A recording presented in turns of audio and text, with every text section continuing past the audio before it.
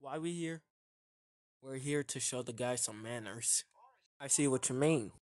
Run out, time's up, over, snap back reality. Oh, there goes gravity. Oh, there goes gravity. Choke, so mad, but he won't. He he won't have it. He knows.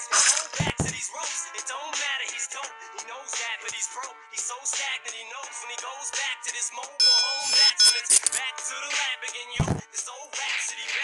better this moment and hope it don't. You better lose yourself in the music the moment you own it. You better never let it go. You only get one shot. Do What not miss the? your chance. Opportunity comes once in a lifetime. Lose yourself in the music the moment you own it.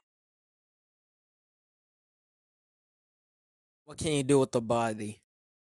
I have something in my lab to help for this situation. Good.